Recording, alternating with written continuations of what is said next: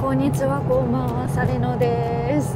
顔がドスッピンでひどい形なんですけど実は状況もだいぶひどくてですね今ロンドンのヒースロー空港からガトウィック空港に向かうまでのバスの中なんですけど細かいビビたる遅延が遅延を呼びなんだか故障とかが全く効かないような状態で飛行機に乗り遅れてしまうかもしれないんですよね。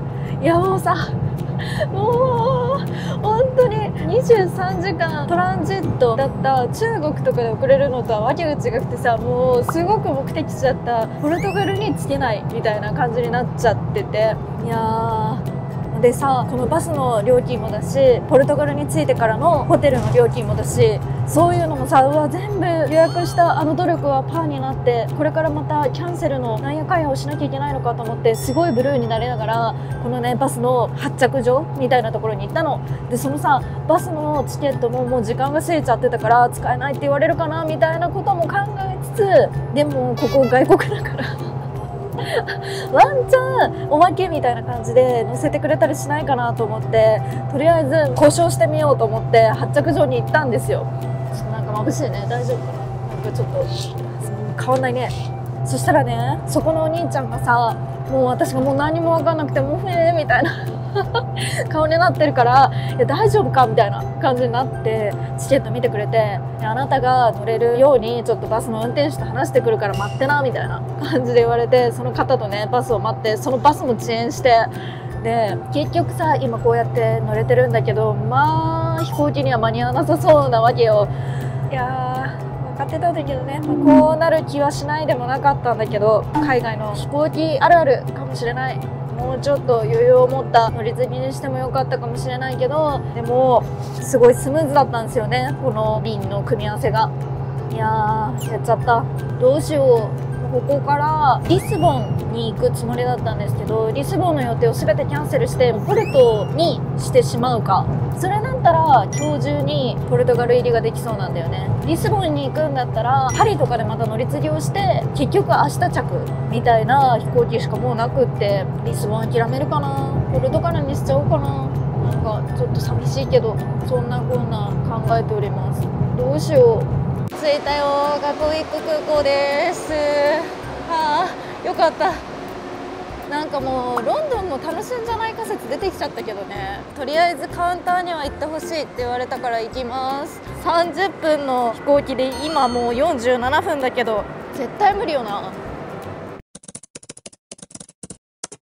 取っていた航空券のカウンターに行ったりいろいろしたんですけど結論としては中国からロンドンに来るまでの飛行機に対しては保証が効いて返金対応されるもののガトウィック空港からポルトガルに行く飛行機は特に何かあるわけでもなく返金もされないしポルトガルに行きたいんだったら自分で手配するしかないってことになったので 急遽飛行機を探さなくてはいけなくなりました。いやもうこれで私が英語ペラペラでさどこの航空会社からどの便が出てるみたいなのも把握してしてたらカウンターに駆け込んで飛行機を決めてもらってみたいなことができたのかもしれないけどさすがにそこまでの交渉力はないからどうしたもんかなって思ってた時に役立ったのがこちらスカイスキャナー。YouTube の中で何度か紹介しているんですけど航空券の予約サイトの比較サイトです。複数の会社が出しているたくさんの航空券の中から自分の希望に合うものを見つけられるので国内旅行はもちろん海外旅行でもたびたび使っています。でね実はこの動画最初にプロモーションが含まれていますってポップが出てたかと思うんですけどなんとこのスカイスキャナーさんから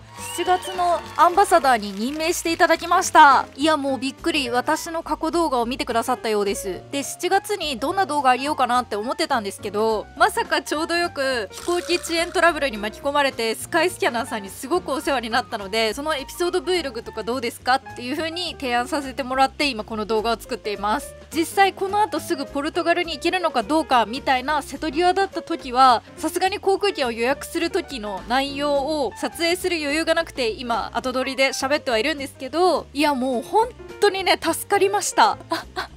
何がいいってさ日本語なのよ書いてあるのが。時間ある時だったらいいよ。でもさすがにそこまでさパッと理解できるような英語力がないからもう日本語でトラブルに対応できるっていうだけで心の落ち着きようが違うなと思っていました。それで実際自分が使ってみてこういう飛行機が遅れちゃって乗り継ぎ便に間に合わなかったみたいなトラブルの時にスカイスキャナー本当に便利だなと思ったので私がどうやって次の便を探したか画面キャプチャーでお伝えしたいと思います。とにもかくにもスカイスキャナーページを開くとこういうトップページに出ます。で出発地と月全体という方を選択しました。こうすると7月まるっととか8月まるっとみたいな感じで表示してくれるので今日と明日だったらどれぐらい差があるのかみたいなのをパッと見ることができます。ちなみに往復に何も入れなければ片道の料金です。これで見ると7日だったら2万4398円だけど8日まで我慢するんだったら1万9204円でいけるわけですよね。まあその差大体5000円ぐらいです。その5000円でこの近くで1泊できるんだったらまあいいかもしれないよね。私の場合はもうすでにポルトガルでホテルを取っていたのでそのキャンセル料も含めてかなりの大損なんですけど。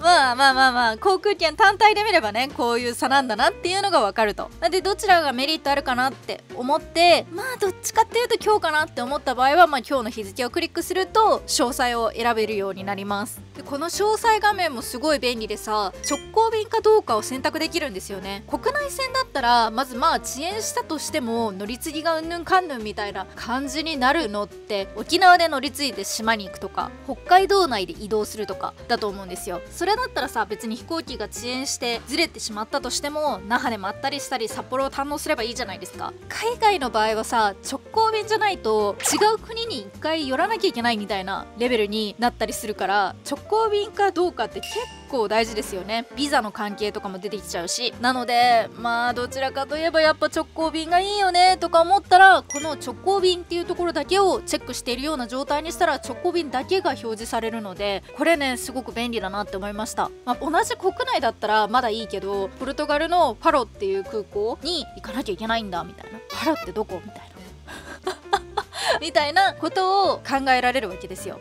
でさらに開いてみると詳細が表示されて乗り継ぎはどれぐらい時間があるのかとか乗り継ぎによる手続きは自分でやるのかどうかみたいなところを確認できます。預け入れ荷物がある方とかは自分で乗り継ぎの場合って例えば2時間後にはまたこの国を出てるみたいな場合でも一旦預けてた荷物を自分で受け取ってまたカウンターで預けたりしないといけないんですよね。そうでなくても1回外に出てチェックインをもう1回して保安検査を受けなきゃいけないしってなってくるのでなのでこの乗り継ぎがどうなってるかっていうのも一緒に確認できるのがすごくねスカイスキャナーいいところだなと思います。でなんやかんやいい便が見つかったら次はどこの予約サイトを選ぶかっていうのを決められるんですよ。この時にね星の数とか口コミとかぜひ参考にしてください。今回の場合はもう問答無用でこれだったらトリップドットコムを選ぶよね。口コミの数も一番多いし星の数も一番多いしもうトリップドットコムだこれはって思って開くとトリップドットコムのサイトに飛んでここから予約手続きをする形になります。1回比較サイトを通しているのでねもしかしたらトリップドットコムとか本当に予約するサイトに移動した時にその B はもう売り切れですってなっちゃってる場合もあるんですけどまあそれでも日本語で効率よく探せるっていうだけでトラブルの時の診療はかなり減るんじゃないかなと思います。一つ嫌なのはねスカイスキャナー最近この評価を求めるこれ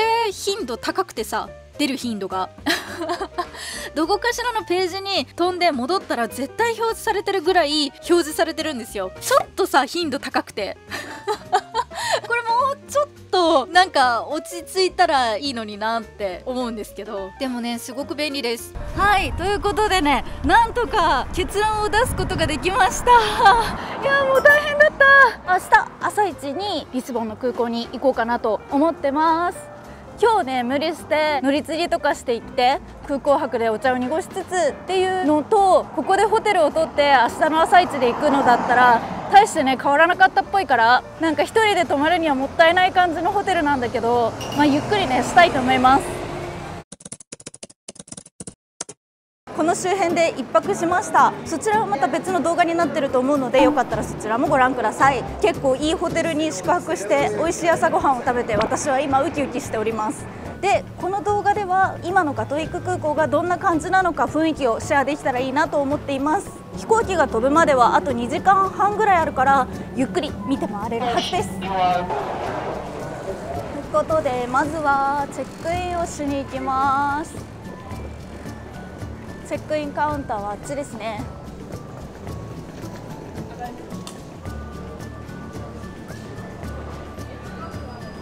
前日当日でも格安の航空券を効率よく探せるスカイスキャナー本当に助かりました。結局トリップドットコムを介して TAP ポルトガル航空の予約が取れてるんだよね。チェックインカウンターはいいらしいです。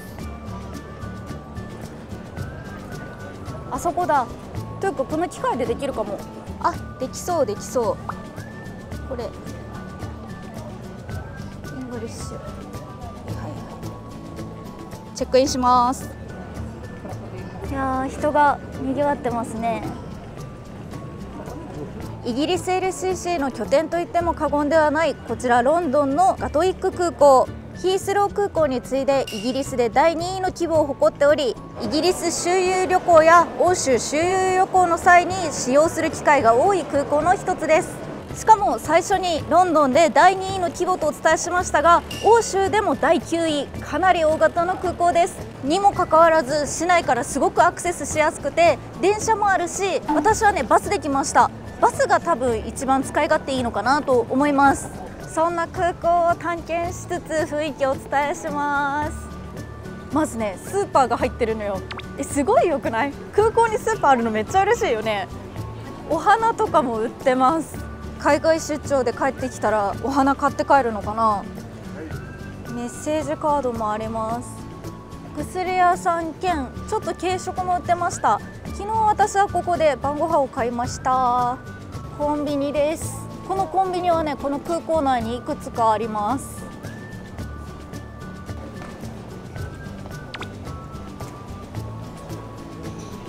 ここは出口近くなので混んでますね。長蛇の列です。便利だし人気なんだろうな。2階に来ました。あそうそうここがねフリー w i f i だし充電できるしソファーがあるスペースです。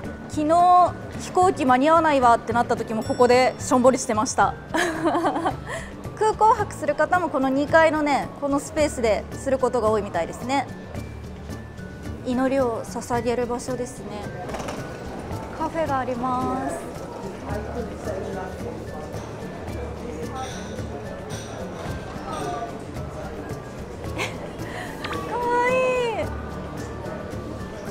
空港内のホテルです。ここにね泊まるって選択肢もあったんですけど近くにも素敵なホテルいっぱいあって迷って違うところにしちゃった。両替所です。売店多いですね。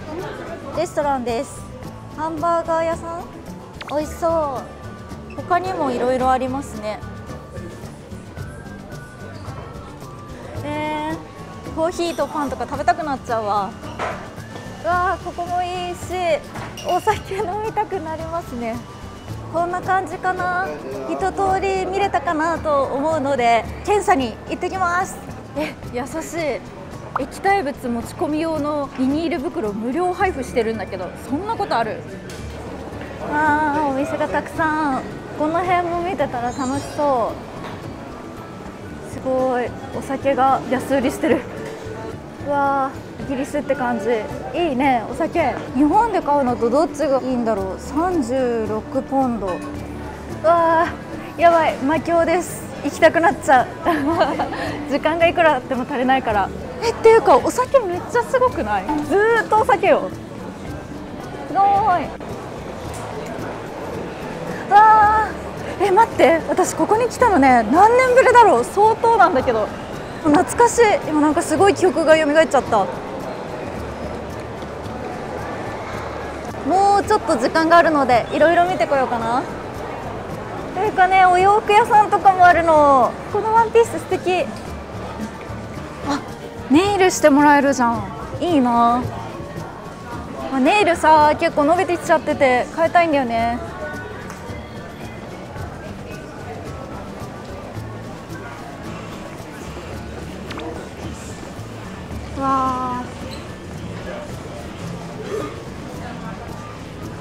イギリスの空港の本屋さんです。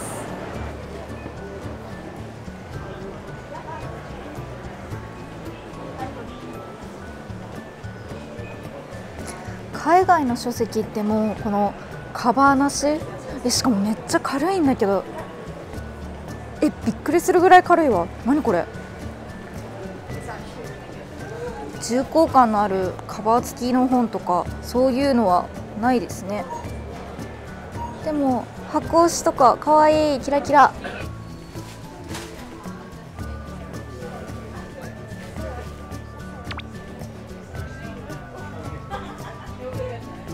それでいてだいたい1冊10ユーロぐらいだから1751円ですって。で1個買うともう1冊が半額になるのかな？って考えるとさすごい日本の本ってやっぱり安いよね。作りしっかりしてて原価が高いのに売り値は安かったりするから。うん。えー、楽しい。ちょっといくらでも入れちゃう。言葉が分かったらもっと楽しいんだろうな。いっぱいお店があっていろんな人がいて全然見切れないわ。